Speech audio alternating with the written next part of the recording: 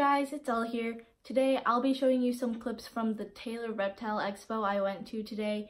I also got to meet Tyler Rugge and Maddie Smith, an amazing fish store, and also an animal shelter. Yeah, let's get started. Also, you guys can follow Tyler and Maddie. I'll have their channels linked in the description box as well as their Instagrams. So yeah.